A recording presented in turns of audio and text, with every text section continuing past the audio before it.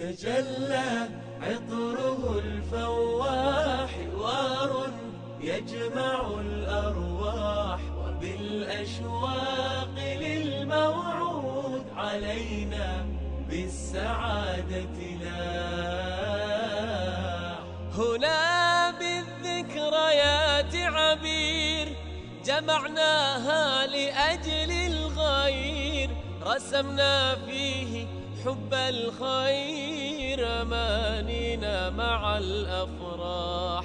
حديث عاطر وشجون يبوح القلب بالمكنون.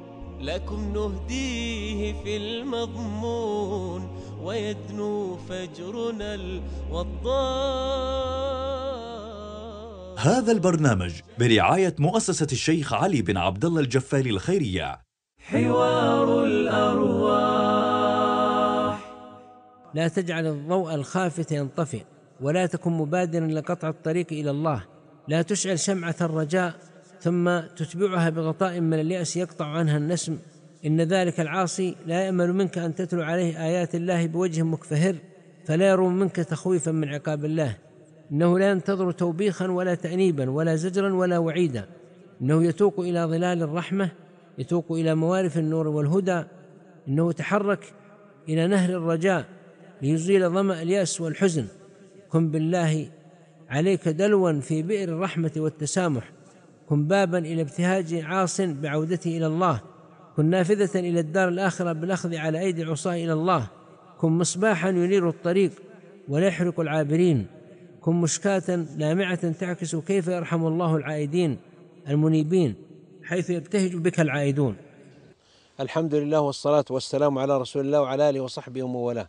سلام الله عليكم ورحمته وبركاته. أخي أختي إذا أتاك العاصي فاجعل نفسك مكان الش- الشفيق الرحيم الودود. كأنك طبيب أتاه مريض. أولا اعتقد أنك عاصم مثله يعني هل أنت مبرأ مطهر معصوم من الخطايا؟ نحن كلنا نعصي ربنا سبحانه وتعالى ونتوب إلى الله سبحانه وتعالى. فإذا أتاك هذا العاصي وما أتاك إلا يستنصح أتاك يريد الهداية. لو لو أراد أن يستمر على طغيانه وفجوره ما كان أتاك أصلا وما كان يتعرف عليك أتاك يستنصحك لتنصح له. فإذا أتاك العاصي فافتح له أبواب الرحمة أبواب الأمل أبواب الرجاء في الله سبحانه وتعالى.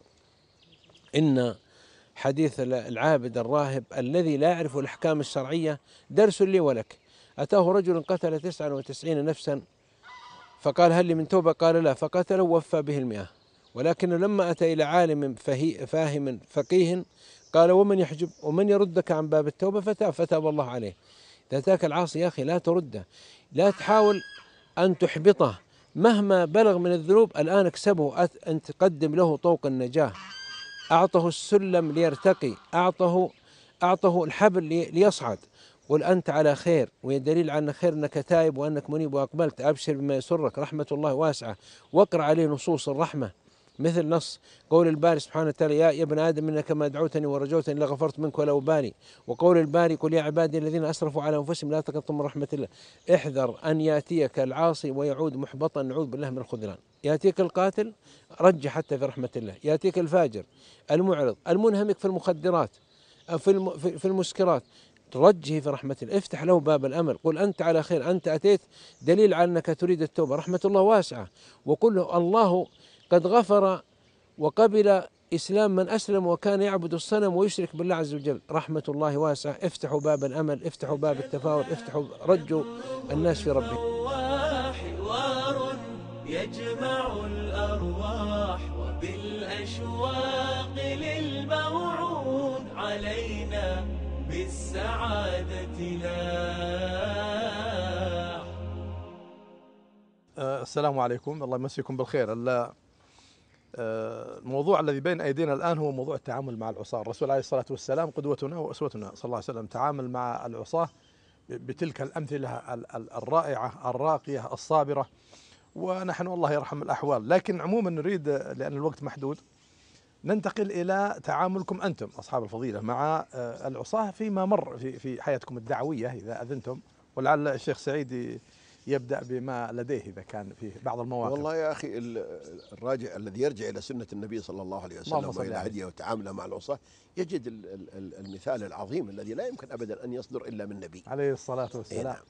وهذه من دلائل نبوته يعني اللهم في تعامله وتواضعه وحلمه وتحمله للآخرين. للمؤمنين رؤوف رحيم. رحيم نعم. كان من دلائل نبوته صلوات الله وسلامه عليه. الصلاة والسلام. ومهما حاول الداعية أنه يتصبر وأنه يتحلى وأنه سيكون قاصرا عن أن يصل إلى هذه القمة الصلاة السامقة. وهذه القامة العظيمة. اللهم صل صلوات. ربي وسلامه عليه. ويكفي أنه رسول الله صلى الله عليه. عليه وسلم.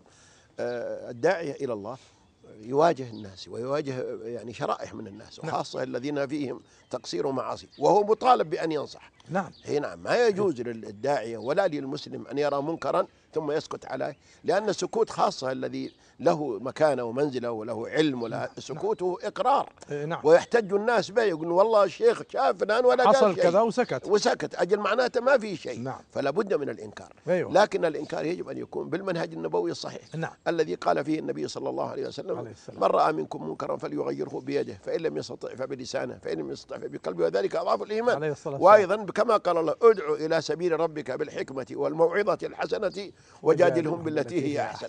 من الطرائف التي حصلت كنت مرة في المدينة المنورة على ساكنها أفضل الصلاة وأزكى عليه. السلام. أي نعم. وصليت في المس... العشاء. نعم. وخرجت إلى ال- ال- الفندق. وفي الطريق مررت على واحد يبيع ال- المسابح والخواتيم وهذه ال- نعم. ال- ال- بسطة. البسطة. أي نعم. في طرف دكان. نعم. أي نعم. وفي يده سيجار من السيجار ال- الأمريكي الغليظ مو ده. سيجارة صغيرة لا لا واحدة مثل ذي الحسيل نعم طويلة اي نعم تمام. ولها ريح عفن أيوه اي نعم والرجل كبير في السن مم. يعني شايب نعم فأشفقت عليه في شيبته أن يشرب مثل هذا مم. فسلمت عليه اي نعم أيوه. وبششت له مم. وقلت له شوف أنت فين ساكن؟ فين جالس؟ قال في المدينة قلت آه، من هذا قبره؟ قال قبر الرسول صلى الله, صلى الله عليه عليه وسلم. وسلم. قلت والأرض اللي أنت عليها الآن يمكن مشى عليها محمد صلى الله عليه وسلم عليه. أرض عظيمة بلد عظيم بلد مقدس. أي نعم. وبعدين ترى ماني أنصح الناس كلهم. شوف الناس يدخنون. لكن أنت أنصحك لأني أشوف في وجهك نور. يا سلام. نعم والله ما في وجهه حبة.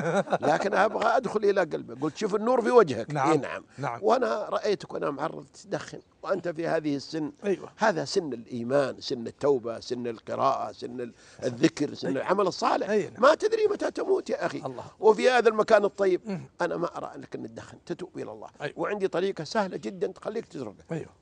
تطفي السيجارة وتدخل إلى المسجد النبوي وتشرب من ماء زمزم تتضلع وتقول اللهم إني أشرب هذه الشربة لتطهير قلبي من هذا الدخان. نعم. إيه نعم. أيوه. وصلي ركعتي الحاجة. سأل الله أنت عز وجل. وأنت في سجودك. أيوه. بإذن الله إن الله عز وجل يعينك. يعينك على هذا. أيوه.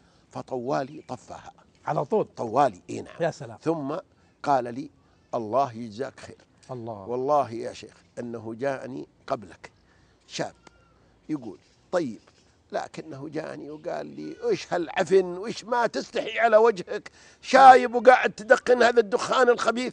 قلت له وش دخلك فيها؟ أدخن ولا مالك دخل؟ ما لك صلاح. يقول وحكدنا نتضارب. لا حول. إي والله كيف، كنا. نتضارب وأصريت حتى يقول إني ما أبطله. لكن بأسلوبك هذا جزاك الله. خير والآن والله.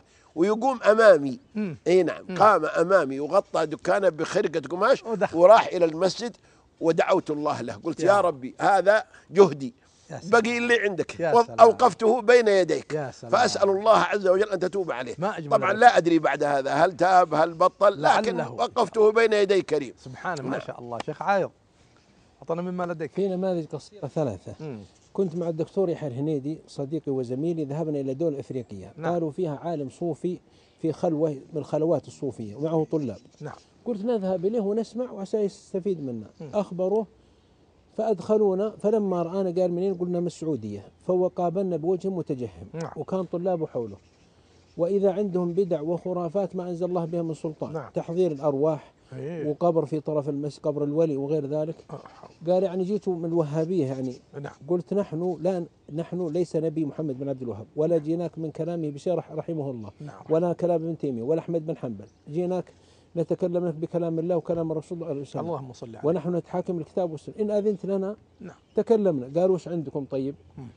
فجيت أتكلم له بالآيات وبالأضرحة وبالقبور. اللهم لا تجعل قبري قبري وثنا.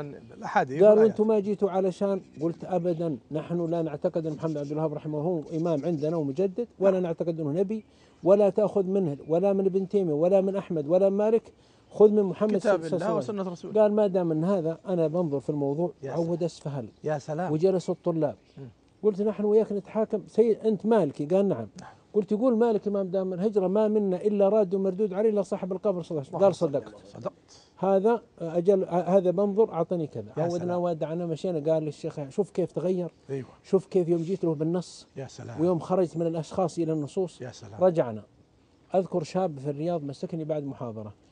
ومار بعد ما خرجنا قال أنا ما تركت معصية إلا فعلتها الله أكبر. وأنا ما يقبل حتى توبتي ما لها طعم. حتى يأس. يئس والله محبط. لا حول. وعنده قلق. أيوه. قلت بسألك سؤال.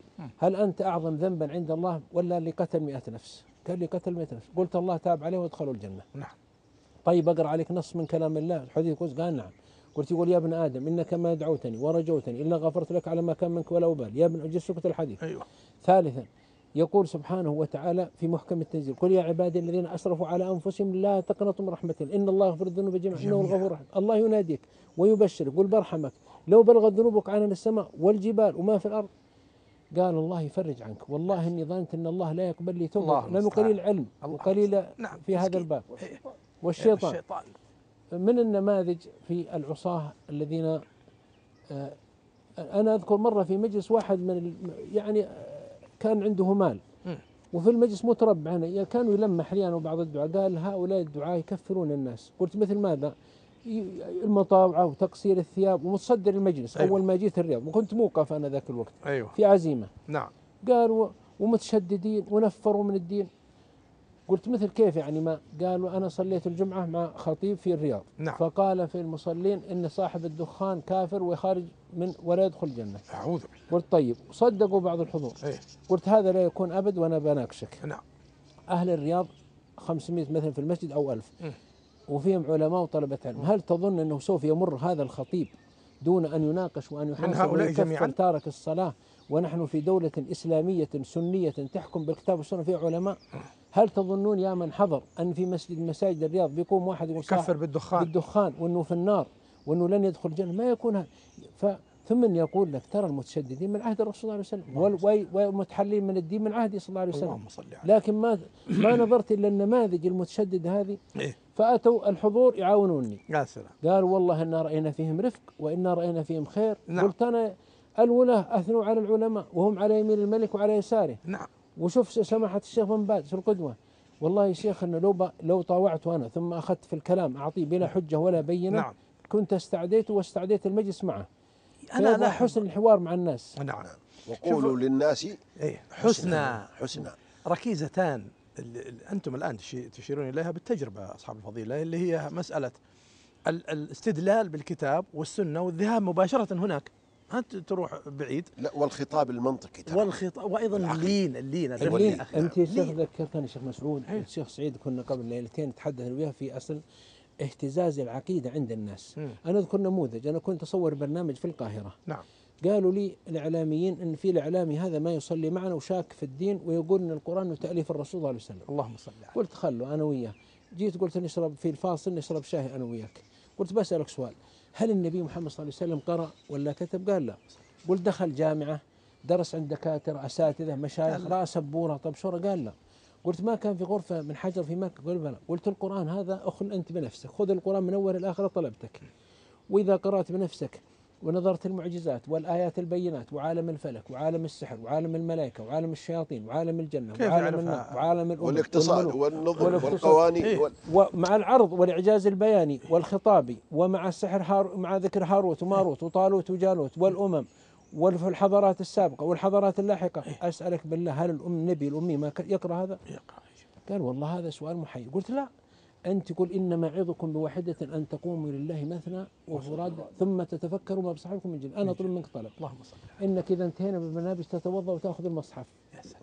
وتقرأ بتجرد. تجرد. قال لك مني هذا. والله أخبرني الإخوة يقول اهتدى فيما بعد. يا سلام. أنا أذكر كان عندنا شبه وزير بل هو وزير كان سعودي. أيوة. ألف كتابين. كان عنده شك في الدين ودرس في أمريكا. مم. وقال القرآن فيه نظر وما أدري إيش وش. راح إلى لبنان إجازة مع أهله يوم اراد الله يفتح عليه. فخلى مع المصحف إنما أعظكم بواحدة. الله. وبقي شهرين في جبل لبنان ثم خرج بكتابين موجودة في العبيكان وفي جرير. الله. أفي الله شك. سبحان والحق الحق المبين أو كذا موجودين سبحانه مطبوعين وتعالى. الله أكبر. من أعظم ما يكون أرجو من الشباب والدعاة والفتيات اللي عنده شك ولا شيء يخلو بالقرآن خلوه يخلو بالقرآن. شرعيه على هذا الكتاب المقدس. نعم نعم لعله يغسل ما في قلبه. أيوه لا، كنت مرة في أندونيسيا. نعم. في مؤتمر الاعجاز العلمي. نعم. وفي إحدى ال- الجلسات بعد آه، إحدى الفعاليات نعم. خرجنا لتناول الشاي والمرطبات. وفي جلسة عشوائية نعم. جلسنا على طاولة. من كل بلد إنسان نعم. واحد. كنا ثمانية أشخاص وكنت أنا بزي السعودي. نعم. فأردت أن أستغل هذا الفراغ وتكلمت قليل نعم. فعارضني أحد الجالسين قال أنت من أي بلد؟ قلت من السعودية. فقال لي كلمة يعني صعبة قال لي إيه قلت خير إيش في؟ قال أنتم في السعودية ما تحبون النبي صلى الله عليه وسلم. عليه وآله. فطعنني في الصميم. كيف ما نحبه؟ بأبي وأمي هو صلى صلى الله عليه وسلم. والله إن أحب إلينا من كل شيء إلا ربنا. اللهم أي نعم. وسلم. قال قلت كيف ما نحبه صلى الله عليه وسلم؟ قال لا تحتفلون بمولده. نعم. في مولده صلى الله عليه وسلم العالم الإسلامي من اقصاه إلى اقصاه يحتفل. يحتفلون. إي نعم إلا أنتم في السعودية يمر عليكم هذا اليوم يوم عادي ما كأنه مولد النبي صلى الله عليه وسلم. عليه. قلت له تقبل النقاش؟ قال تفضل. قلت والله الذي لا إله غيره ما منعنا من الاحتفال به إلا محبته. محبه لأننا نحبه. قال كيف؟ قلت اسمح لي قال نعم. قلت هذا الاحتفال الذي تحتفلون به. إي. نعم. هل هو طاعة لله أم معصية؟ طبعا ما يقدر يقول معصية, يقول معصية. قال طاعة لله. قلت. طاعة تتقربون بها إلى الله, إلى الله ترجون برها وترجون أجرها؟ قال نعم. قلت طيب السؤال الثاني هذه الطاعة هل علمها رسول الله صلى الله عليه وسلم أم جهلها؟ أم جهلها. وأنتم عرفتوا الطاعة والرسول ما عرفها اللهم صل طبعا عليه. لا يستطيع أن يقول أن الرسول جهلها. لأن أعرف الناس بطاعة الله من هو الرسول الرسول صلى الله عليه صلى الله عليه وسلم وسلم. قال علمها. أي قلت السؤال الثالث هل بلغها لأمته أم كتمها اللهم صل هل عليه. قال للناس احتفلوا بمولدي أم كتم أم؟ سكت كتمها. هنا وقف خلاص ما يقدر يقول كتمها ولا يقدر يقول بلغها. بلغها. لأن لو قال بلغها أقول هات. هات الدليل. اي نعم. وما في حديث ولا شيء. وإن قال كتمها إيه. وقع في المنكر العظيم. من الله. من اتهم الرسول بأنه كتم الرسالة أو شيء من الرسالة كفر. نعم. نعم. نحن نشهد أنه بلغ الرسالة. صلى الله وليس. في ديننا آية ولا حديث ولا أثر ولا فعل الصحابة ولا الخلفاء الراشدين ولا القرن الأول ولا الثاني ولا الثالث أنهم كانوا يحتفلون بهذا المولد. نعم. بينما الأمر يخصه صلى الله عليه وسلم. عليه الصلاة والسلام. مولده هو لو كان مشروعا لاحتفل بمولده. هو عليه و- السلام. والصحابة لو كان مشروعا وهم أحب الناس إليه لاحتفلوا إيه، به. لاحتفلوا به. قال آه، آه، قلت لا وحده لازم كتمها ولا ولا بلغها. إي نعم. فرجع. قال ليس طاعة. ليس. رجع أيوة. من أول. الأول أيوه إيه، نعم. قلت يعني معصية. إي. وأنتم تحتفلون بمولده لتعصون الله لأنكم تحبونه. نعم. إيه. قال لا لا هذا بدعة حسنة. أيوه. أيوه. قلت بدعة حسنة؟ ما في بدعة حسنة. أيوة. ولا بكرة تجيب لنا تقول هذا كفر حسن. أيوة. وهذا خمر حسن ونفاق حسن حسن. بدعة حسنة ما في ما. الرسول صلى الله عليه وسلم يقول إن كل بدعة وكل هنا من صيغ العموم نعم. ضلالة وكل ضلالة في النار الله. ما في بدعة حسنة يا سلام. أي نعم قال نحن ما نقول فيها إلا خيرا آه. قلت إيش تقولون قال نقرأ ال- شيء من السيرة ونقرأ بعض المدائح النبوية وأحيانا نحظى بالحضره النبوية نعم قلت الحضرة النبوية إيش؟ إيه. قال يجي النبي صلى الله عليه وسلم الله يحضر الاحتفال اللهم قلت. يجي عندكم في دولتكم ويجي في الدولة العالم كلها قال نعم. قلت سبحان الله النبي صلى الله عليه وسلم كان يوم كان حيا إذا وجد في المدينة لا يوجد في مكة. اللهم صل اي نعم. عليه. فكيف وهو ميت؟ قال لا ما هو ميت. انتبه لا تقول هذا. سبحان. الله قلت أصدقك ولا أصدق القرآن؟ الله يقول إنك ميت. وإنهم ميتون ميت. وأنت تقول ما هو ميت ما هو ميت. يعني الصحابة ظلموه دفنوه وهو حي اي نعم صل عليه. الرجل شده إي يا نعم. سلام، يا وكان سلام. كبير العلماء في بلده الله نعم. اي نعم نعم. وكان آية في الفقه الحنفي اي نعم وفي المنطق وفي الصرف لعل وفي قلبه. لكنه صفر في العقيدة لعل الله يفتح المهم. قال لي هات يدك اي نعم قلت نعم قال أعاهدك بالله أنني حرب عليها من هذا اليوم. الله أكبر. قلت الحمد لله الله أكبر. وبدأنا ال- المشروع الثاني ال- الفعالية الثانية وأخذ رقم غرفتي وما إن عدت. إلا ويتصل بي. قال ممكن ازورك قلت تفضل. جاءني في الغرفة وكان صديقا لي خلال الثلاث الأيام. لأنه وجد الحق. حتى. أني سألت سألت عن الاصول الثلاثة. تصور. أيوه. عالم كبير. قلت إيش الأصول الثلاثة؟ قال لا أدري. إي نعم. قلت الأصول الثلاثة تسأل عنها في قبرك. اللهم إيش. اسال في قبرك؟ من ربك؟ من ربك. ما دينك؟ ما دينك؟ من من نبيك؟ على اسأل الطفل عندنا في سنة اولى ابتدائيه يعرف الأصول. الثلاثة. ال- ال- الوقت انتهى وإلا الحقيقة هذه ال- الخواطر وهذه الذكريات كلها عبر ودروس.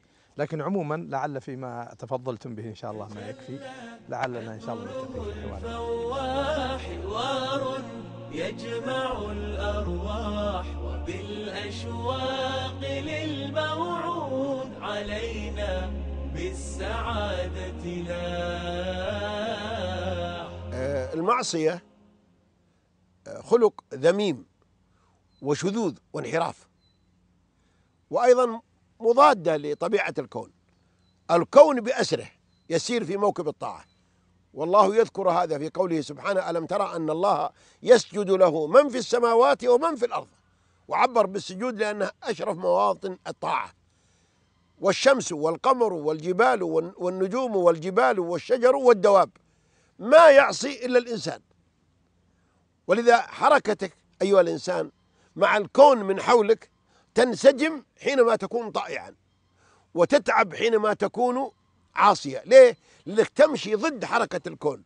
أنت لا ت... لما تمشي الآن في شارع مع اتجاه السيارات. تمشي به- بهدوء. لكن لو حاولت أن تعكس السير الناس كلهم في اتجاه وأنت في عكسهم ما تسلم. لابد تتعرض لحادث أو كارثة. كذلك الإنسان الذي يعصي. وبعض العصاة يعصي الله عز وجل بإمكانيات الله هو الذي منحها إياها. من الناس من يعصي الله بالمال والمال مال الله. ومن الناس من يعصي الله بجسد قوي متعافي نشيط. ما شاء الله. من الذي منحك العافية؟ أيها الإنسان يا من تعصي الله بجسد منحك الله إياه.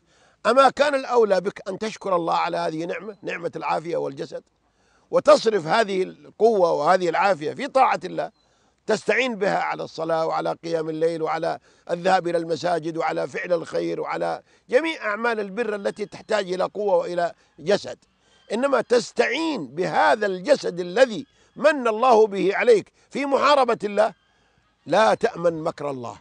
ترى الذي أعطاك هذه القوة وهذه النعمة وهذا العافية قادر على أن يسلبك إياها.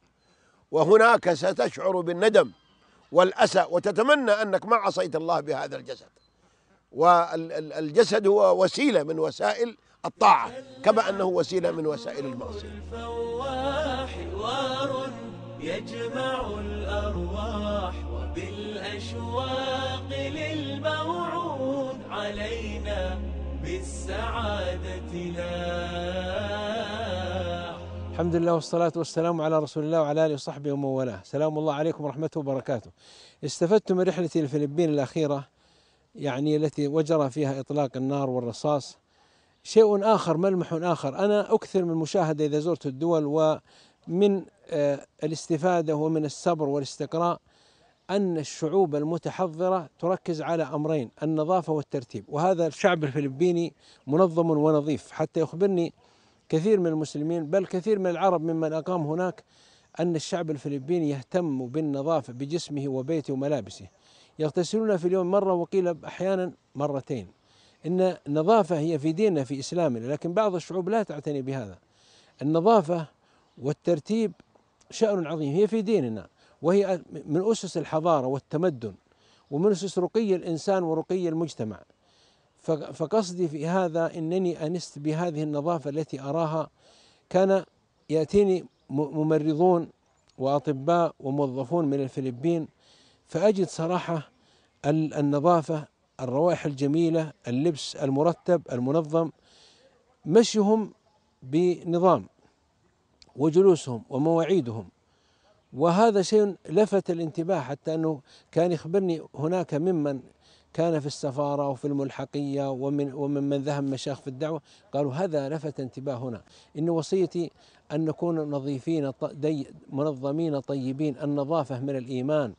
والنظام من الإسلام وإن شعبا لم ينظم حياته ولم ينظم ولم يكن نظيفا ولا لا يستطيع أن أن يرتقي بنفسه إلى ص- إلى إلى صعد وإلى منازل المجد والريادة. والأمر ترى يا أخو والله أنه أمر سهل لمن اهتم بنفسه واهتم بحياته وأراد أن يعيش حياة طيبة وحياة جميلة وحياة سعيدة أن أن يلتفت إلى نفسه في ملابسه لا يرضى إلا أن يكون ملابس جميلة أن يغتسل دائما أن يراعي آداب الإسلام في في نظافة جسمه في نظافة منزله سيارته لأن هذا يظهر صورة الإسلام الجميلة. لا يحق لنا مسلمين نشوه صورة الإسلام بمناظرنا الغير لائقة بعدم اهتمامنا بنظافة أجسامنا وملابسنا وبيوتنا لأن معنى ذلك أننا ما فهمنا الدين. كيف ندعو الإسلام ونحن لم نمتثل هذا؟ في حياتنا. تقبل الله منا ومنكم. شكرا لكم. هذا البرنامج برعاية مؤسسة الشيخ علي بن عبد الله الجفالي الخيرية. تجلى عطره الفواح حوار يجمع الأرواح وبالأشواق للموعود علينا بالسعادة.